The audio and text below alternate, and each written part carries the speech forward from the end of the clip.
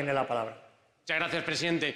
Bueno, señor consejero, eh, reciba en primer lugar la felicitación por parte de este grupo parlamentario por lo que consideramos es probablemente uno de los mejores presupuestos en materia de viviendas, de transporte e infraestructuras de la Comunidad de Madrid. Como bien dice usted, es un presupuesto que responde al mandato claro y nítido que nos hicieron los ciudadanos el pasado 28 de mayo y no al chantaje como el que está haciendo ahora mismo el Partido Socialista. Luego,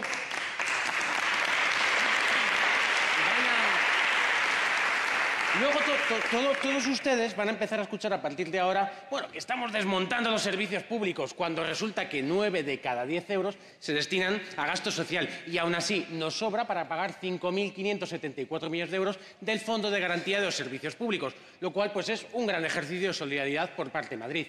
Y hablando de solidaridad, qué día para ser socialistas. Están muy contentos, pero qué día. ¿Cómo se sienten ustedes siendo los aliados de los lepenes de la política española, de aquellos que dicen que lo suyo es suyo y que no redistribuyen la riqueza y que no quieren dárselo a quien menos tiene, sino que dárselo para ellos? ¿Cómo se sienten? ¿Cómo, cómo se sienten? Eso sí, eso sí. Eso sí, el presidente del Gobierno anunció ayer que había dos nuevas gratuidades. La primera de ellas, el transporte público para los mayores de 65. Bien, eso ya se hace en Madrid, nos copian las ideas, es bueno. Y la segunda de las gratuidades, malversar dinero público. Para esto no hay que tener más de 65 años, sino el carnet de Esquerra Republicana o de Junts per Catalunya. ¡Qué vergüenza, señorías! ¡Qué vergüenza!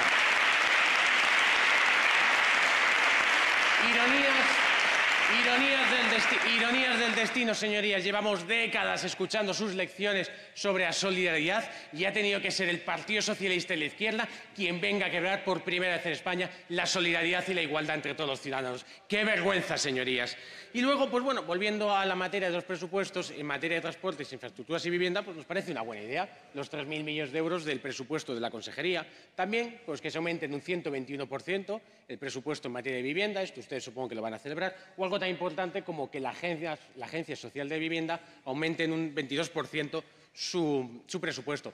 También en materia de transportes, que se aumente 611 millones de euros, me lo oyen ustedes muchas veces, pero bueno, para seguir mejorando ese transporte público que es el mejor, el más puntual, el más moderno, el más eficiente de toda Europa. Y por lo tanto, pues señor consejero, como dice Corintios 9, quien siembra abundancia, recogerá abundancia, eso es lo que le auguro. Y por lo tanto, pues solo me queda decirle a todas sus señorías que el próximo sábado a las 12 de la mañana vayan a manifestarse en contra de la amnistía y que lo hagan en transporte público. Muchas gracias.